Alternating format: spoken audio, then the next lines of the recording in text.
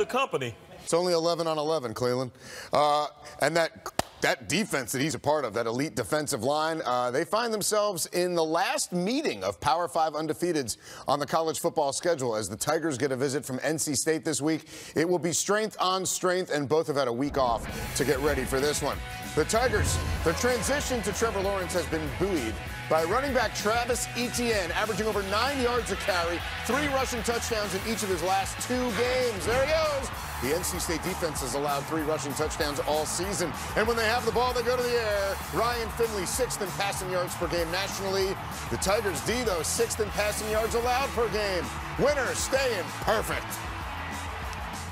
You know, you want to be in this position where you're playing for a lot and uh, against another team that's playing for a lot. I mean, this is what it's all about. You know, it's having these kind of matchups. For us, it's it's about elevating our program and and it's about doing something that we haven't been able to do as a coach, uh, as a player yet. And, and, all those things matter to us, to them. Uh, that's why you work so hard. This is going to be a, a, big game, man. I mean, they're all huge, as we know. Um, but there's there's not many undefeated teams left uh, out there, and you got two of them facing off in the Valley on Saturday, and you best believe no team wants to lose. Uh, so you, you're going to have a you're going to have two teams that, that are going to be passionate about winning. This is what it's all about.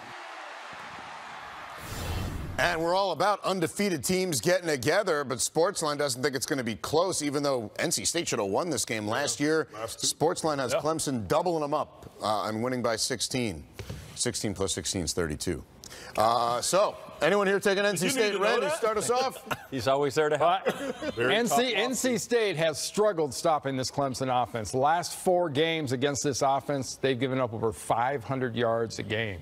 It's been just terrible for them. Now, Clemson, on the other hand, in conference games has played really, really well. they have managed to cover. They've been against the spread. They've been four and one the last five. They're going to be five and one. They're going to cover and they're going to win. Mm. Everyone anticipates Clemson winning this game, and for good reason. Etienne's got it clicking right now. Yeah. Trevor Lawrence is coming in. He's 20 25. Here's what it was 38 31 last year. So if you look at the numbers, what do they have to change? They were three of 13 last year on third down. Have to be much better there. Finley can't throw two picks, which was the case a year ago. And they've got to continue to keep the time of possession. I don't think they can get all that done. I'm on Clemson. If NC State's going to win this game, they're going to have to control the line of scrimmage. And that is not going to be easy against this Clemson defense. Now, they've only played five games, but they've been pretty dang good up front, both in the run game and in pass protection. In fact, they lead the ACC in sacks allowed, number two in the nation, only two. We've seen this Clemson front seven get after folks. Remember them 11 sacks at Auburn yeah. that they got on yeah. them a couple years ago? I don't think it's going to be that. I think that NC State plays them tough, but Clemson gets the win. Uh, NC State has been running the rock, averaging 225. Clemson, fourth in the nation behind those uh, service academies, 280 a game. And how about this? The chunk plays. Chunk plays galore. 34 or 24, 30 plus uh, explosive plays, and they lead the nation with 12 plays of 50 or more. That's all they had all of last season was 12 of those type of plays. Clemson wins this. All right.